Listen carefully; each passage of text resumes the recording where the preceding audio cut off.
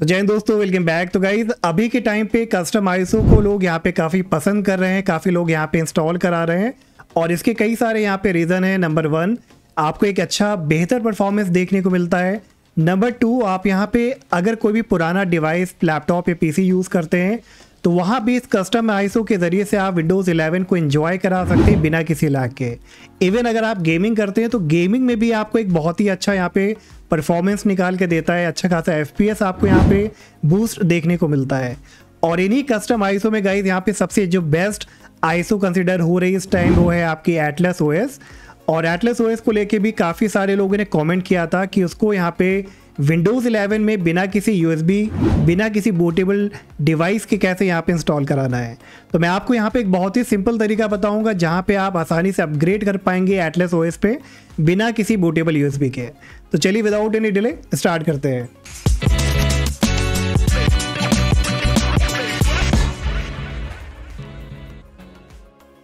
तो अभी आप देख सकते हैं गाइस मैं यहाँ पे विंडोज़ 11 का यूज़ कर रहा हूँ। अब यहाँ पे देखिए दो डिफरेंट सिनेरियोज हो सकते हैं। या तो आप विंडोज़ 10 का इस्तेमाल कर रहे हैं या तो विंडोज़ 11 अगर आप विंडोज़ 11 यूज़ कर रहे हैं तो बस आप गुड टू गो हैं। फटाफट यहाँ पे आप अपग्रेड कर पाएँगे एटलेस ओएस में। लेकिन अगर आप विंडोज़ 10 का इस्तेमाल कर रहे हैं तो सबसे पहले आपको अपग्रेड करना पड़ेगा विंडोज़ 10 से विंडोज़ 11 में। अब इसके लिए मैंने ऑलरेडी कई सारी वीडियोस गाइस बनाई हैं। मैं आपको सारे लिंक डिस्क्रिप्शन में दे दूँगा। अगर आप अनसपोर्टेड हार्डवेयर पे हो तो उसके लिए भी मैंने वीडियो बनाई है। सपोर्टेड हार्डवेयर पे भी हैं, तब भी आप आसानी से उसी मेथड के ज़रिए से यहाँ पे अपग्रेड कर पाएँगे। तो जैसे ही आप यहाँ पे विंडोज़ 11 पे आ जाते हैं, अब सबसे पहली जो आपकी यहाँ पे रिक्वायरमेंट है कि विंडोज़ 11 यहाँ पे आपका जो है एक्टिवेटेड होना चाहिए। अगर आप यहाँ पे नॉट एक्टिवेटेड कॉपी यूज़ कर रहे हैं तो यहाँ पे आप अपग्रेड नहीं कर पाएँगे। और इवन ये रिकमेंडेड भी नहीं है कि आप यहाँ पे नॉट एक्टिवेटेड या पायरेटेड यहाँ पे कॉपी यूज़ करें विंडोज़ 11 या विंडोज़ 10 की। अब इस पर मैंने ऑलरेडी एक वीडियो बनाया गया कि आपको क्यों यूज़ नहीं करना चाहिए इस तरह की पायरेटेड या नॉट एक्टिवेटेड और अगर आपको यहाँ पे एक्टिवेट करना है अपने विंडोज़ को तो आप सबसे बेहतर है कि आप इस वेबसाइट पे आइए। इसका लिंक मैं आपको डिस्क्रिप्शन में दूँगा। यहाँ पे आने के बाद आपको कई सारी विंडोज़ 11 की प्रो की 10 की सारी कीज़ आपको यहाँ पे देखने को मिल जाएगी। और यहाँ पे आपको बहुत ही डिस्काउंटेड प्राइस में यहाँ पे विंडोज़ 11 की की मिलेगी। प्लस आप मेरा यहाँ पे प्रोमो कोड अप्लाई कर सकते हैं, जिसके बाद हंड्रेड रुपीज़ का और आपको यहाँ पे डिस्काउंट मिल जाएगा। तो अगर आप अफोर्ड कर सकते हैं तो वन टाइम इस की को आप परचेस करिए और हमेशा के लिए यहाँ पे इंजॉय कराइए। तो जैसे यहाँ पे आपका दो ये काम कंप्लीट होता है विंडोज़ 11 में अपग्रेड करना और आपकी विंडोज़ की का यहाँ पे एक्टिवेट होना उसके बाद अब आपको आना इस वेबसाइट पे एटलस की। इसका भी लिंक मैं आपको यहाँ पे डिस्क्रिप्शन में दे दूँगा। यहाँ पे आने के बाद मिलता है modification of Windows design for gamer आप इसके बारे में यहाँ पे रीड करना चाहें तो रीड कर सकते हैं। अब देखिए यहाँ पे दो ऑप्शन मिलेंगे Atlas play book A M E wizard तो दोनों पे आप क्लिक करिए और इन दोनों फ़ाइल को यहाँ पे आप डाउनलोड कर लीजिए। और जैसे यहाँ पे दोनों फ़ाइल डाउनलोड हो जाती है, सबसे पहले आपको मिलेगा एटलस प्ले बुक तो ये भी आपका जिप फ़ाइल में डाउनलोड होगा तो यहाँ पे आप राइट क्लिक करिए। एक्सट्रैक्ट ऑल कराइए एक्सट्रैक्ट पे क्लिक करिए।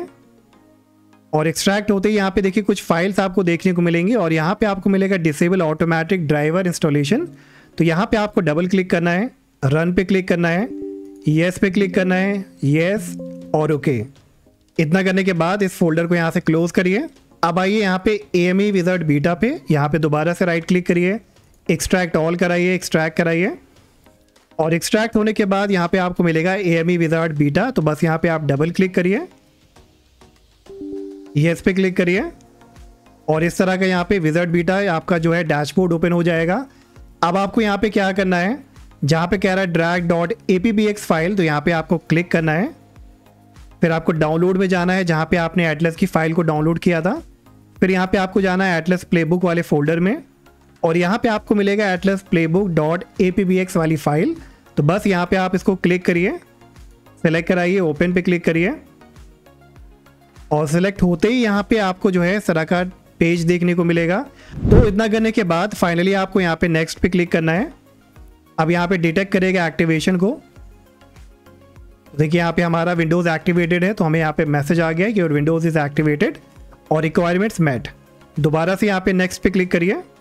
नेक्स्ट पे क्लिक करिए अगरी पे क्लिक करिए, फिर यहाँ पे क्लिक करना है सिलेक्ट ऑप्शंस पे, और ये बोला है इनेबल करना है डिफेंडर को कि डिसेबल करना है। तो अगर आप विंडोज़ डिफेंडर को यहाँ पे डिसेबल करना चाहते हैं इन केस अगर आप कोई थर्ड पार्टी सिक्योरिटी यूज़ करना चाहते हैं तो आप डिसेबल करिए।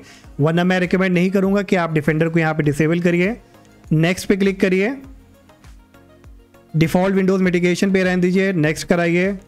डिसेबल कोर आइसोलेशन तो इस पर भी मैंने वीडियो बनाई है। अगर आप डिसेबल करना चाहते हैं तो कर सकते हैं।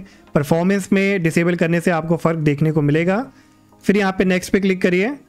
फिर यहाँ पे कुछ और ऑप्शन मिलते हैं कि आप माइक्रोसॉफ्ट एज को यहाँ पे हटाना चाहते हैं ब्लूटूथ को हटाना चाहते हैं पावर सेविंग मोड को हटाना चाहते हैं। तो अगर ऑप्शनल है, आप हटाना चाहो तो हटा लो। मैं फ़िलहाल यहाँ पे नहीं हटाऊँगा तो अनचेक कर लेते हैं हम इसे। ओके पे क्लिक करेंगे। फिर यहाँ पे नेक्स्ट पे क्लिक करिए। अब यहाँ पे ये एक्सट्रैक्ट करेगा रिसोर्सेज पावर शेल वगैरह को ऑप्टिमाइज़ करेगा। तो अब यहाँ पे थोड़ा सा आप वेट करिए जब तक कि सारा प्रोसेस यहाँ पे कंप्लीट ना हो जाए। और अगर इन बिटवीन गाइस यहाँ पे आपसे विंडोज़ डिफेंडर को डीएक्टिवेट करने के लिए बोलता है तो आप वो भी यहाँ पे कर लीजिएगा। आप सेटिंग्स में जाके virus and threat protection real time production को यहाँ पे डिसेबल करिएगा। और दोबारा से जब आप इस प्रोसेस को कंटिन्यू करेंगे तो यहाँ पे आपको कोई प्रॉब्लम नहीं आएगी।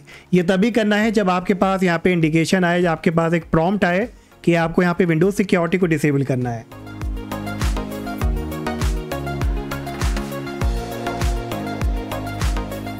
ओके okay गाइस तो फाइनली आप यहाँ पे देख सकते हैं कि हमारा जो है विंडोज़ 11 यहाँ पे अपग्रेड हो गया है एटलेस ओएस में। और यहाँ पे हमने किसी भी तरह का यूएसबी टूल या किसी तरह की बोटेबल ड्राइव भी यहाँ पे नहीं क्रिएट करी है। और यहाँ पे बहुत ही सिंपल तरीके से हमने अपग्रेड किया है। और ये बहुत टाइम भी नहीं लेता, मुश्किल से आपका पाँच से सात मिनट का टाइम लेगा। और ये यहाँ पे अपग्रेड हो जाएगा। अब अपग्रेड होने के बाद मैं आपको यहाँ पे दिखा दूँ कि अगर हम डेटा की बात करें देखिए डाउनलोड सेक्शन में जो भी हमने यहाँ पे डाउनलोड किया था, जब हम विंडोज़ 11 में थे तो वो सारी फ़ाइल हमारी यहाँ पे एग्जिस्ट करती हैं। डॉक्यूमेंट में मेरी एक आई है तो डॉक्यूमेंट में भी वो यहाँ पे एग्जिस्ट करती है तो इसका मतलब है कि कोई भी यहाँ पे आपका डेटा नहीं जाने वाला डेटा आपका एज इट इज़ रहेगा, कोई भी फ़ाइल आपकी यहाँ पे डिलीट नहीं होगी। क्लियर अब इसके बाद अगर मैं एक्टिवेशन की बात करूँ तो अगर हम यहाँ पे सर्च करेंगे एक्टिवेशन सेटिंग तो आप यहाँ पे देख सकते हैं कि हमारी विंडोज़ 11 भी एक्टिवेट थी और अपग्रेड करने के बाद एटलस में यहाँ पे हमारा एटलस ओएस भी यहाँ पे एक्टिवेटेड रहेगा। क्लियर तो अब इसके बाद कुछ और बेसिक चीज़ें अगर हम यहाँ पे गाइस देखें लाइक टास्क मैनेजर में जाएँ और यहाँ पे अगर हम परफॉर्मेंस में जाते हैं तो अब आप यहाँ पे देख लो हमारे विंडोज़ 11 में जो प्रोसेस काउंट होता था, वो अराउंड 134 135 के आसपास था, वो अब रिड्यूस होके आ गया है 86 के और 90 के बीच में। थ्रेड हमारा 1500 के आसपास आ गया और हैंडल हमारा 40,000 के आसपास आ गया है और ये काफ़ी अच्छा खासा डिफरेंस है और इन्हीं की वजह से अब आपको एक अच्छा परफॉर्मेंस देखने को मिलेगा। बाकी यहाँ पे आपको ओल्ड कॉन्टेक्स्ट मेन्यू देखने को मिलता है। आपको यहाँ पे एटलस का टूल भी मिलेगा तो यहाँ पे आप कई सारी चीज़ें को यहाँ पे रन करा सकते हैं। अगर एटलस के बारे में आपको और डिटेल चाहिए तो मैंने उस पर ऑलरेडी एक वीडियो बनाया है। आप उसको यहाँ पे चेकआउट कर सकते हैं। तो ये था गाइस यहाँ पे एक बेस्ट और इजी तरीका एटलेस ओएस में अपग्रेड करने का विंडोज़ 11 से। बिना किसी यहाँ पे यूएसबी टूल के। होपफुली गाइस आपको आज का वीडियो अच्छा लगा होगा। वीडियो अच्छा लगा हो तो प्लीज़ वीडियो को लाइक करिएगा। चैनल को सब्सक्राइब करिएगा और हम मिलेंगे नेक्स्ट वीडियो में। बाय